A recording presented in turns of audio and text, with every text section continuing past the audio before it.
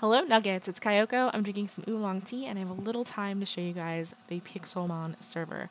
We're testing it right now um, to make it fancy for you guys when it officially opens. So if you want to come test it with us, go to our website. It'll show you how to download the Forge and Pixelmon stuff and install it and all of that stuff. So when you first spawn, you're going to be up there uh, and there'll be a few signs for you to read. You come down the stairs and this one's really important for sure if you want to get started easily use Kit Trainer. And it gives you a Pokedex, five Pokeballs, a potion, and old running shoes, which increases your speed by 50%. It's pretty fancy. It's very good to have going across the map and battling Pokemon. So I'm trashing those because I already got mine. And you only get once, get it once. I think it has like a uh, 11 year timer or something like that. Alright, so um, down here is where we have the PCs and uh, healers and the trading station, which you can always make your own of these things, but this is just easier so you can come back here and uh, fill, you know, heal your Pokemon. You go like this. Mine are already healed, but um, it takes your entire party up and like fill, and heals them, makes them all better. You can't really move or do anything while it's doing that. And then poof, yay. Alright, so this is a PC where you hold your Pokemon. There's 16 um, boxes. So um, this is what I have so far. Spaz and I played pretty hardcore when we first opened it. And I got an Eevee yesterday. I'm super excited. And then my favorite Jigglypuff. And I got Pikachu. I'm super excited about all that. Hi, Camper Die. What up? Alright, so I'm going to show you guys the battle arena that Spaz made. It's very simple stuff right now. Uh, we have some pretty awesome ideas for when we officially open. This is the arena, which I don't want to stay around too long because I don't really have time to battle. But um, there's computer and healing station here. So you guys can battle your friends, which is pretty cool.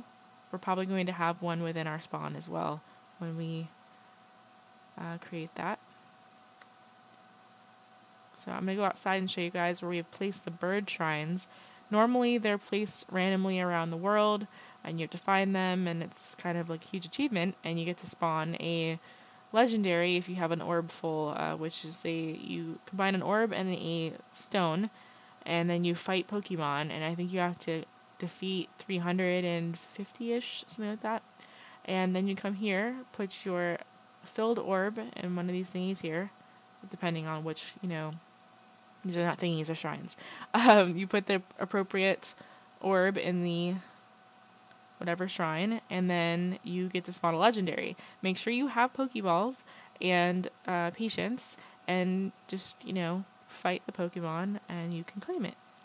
So, around this spawn ring, you'll find player built things. So, please respect the player built stuff here.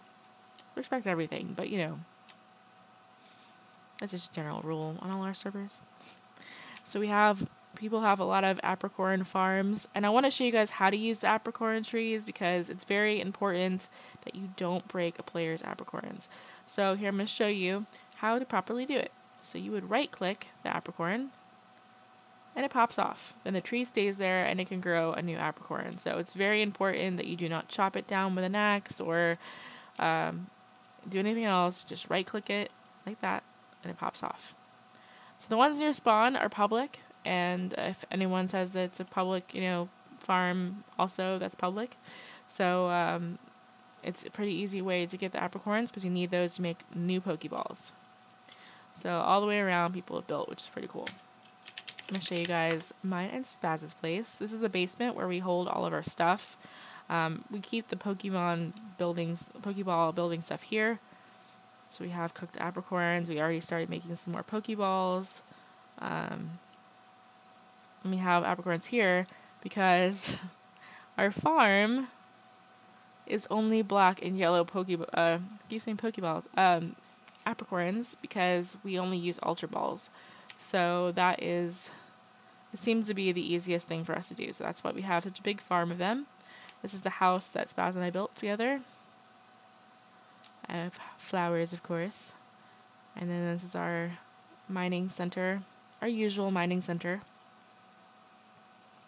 we did have stems here, but Pokemon, Pokemon griefed us. Um, plus, there's no hunger here, so there's no need to store them. We were testing having hunger, and it just didn't work out. So, thankfully, because otherwise I would have smacked some Pokemon for ripping up our farm. So that goes into our house, and then we have a layer 25 because between 20 and 50 you can find fossils, so we wanted to make sure we could get easy for that. And then down here is 11 as per usual, just basic mining to get diamond and stuff. And this is a cactus with a hat because I don't want I didn't want to grow a full cactus and um, so we have to name him. What would be your name, Cactus Hat Man? So that's pretty much it. You can come, hang out and play with us anytime. Um, the server is up 24 7 unless something goes awry and we happen to have walked away. Um, and of course, all our other, other servers are still up and running and people are on there and stuff. People are kind of addicted to Pokemon right now. So I hope everyone has an amazing day, week, month, all that stuff. Love your faces and don't forget to be kind to one another. Bye.